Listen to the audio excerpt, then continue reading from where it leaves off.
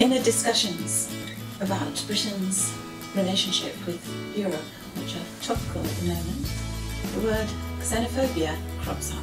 The Greeks didn't actually use this word, but it does come to us from two Greek words. It means fear of foreigners. Xenos is a foreigner, a foreign man. There's another word, xene, foreign woman. As with English foreigner, there can be a derogative connotation in Greek. For instance, in Sparta, there were laws passed to expel foreigners. Many Greeks thought that this was the best way to maintain the customs of their forefathers, and others disagreed, especially the Athenians. Well, there is that derogative tone to xenos sometimes, but more often, xenos in Greek is neutral or has a very positive connotation.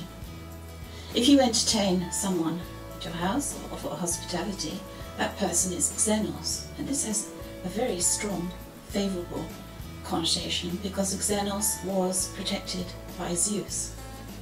Another specialized sense is if Xenos lives in your community alongside you. In some states, this was a recognized position. Another specialized meaning is if you are on a military campaign and you have a soldier fighting alongside you who is not from the same place you are, a foreigner he may be. That is also xenos, that's another sense. You might translate it as foreign ally. If you yourself go abroad outside your own community, you become xenos.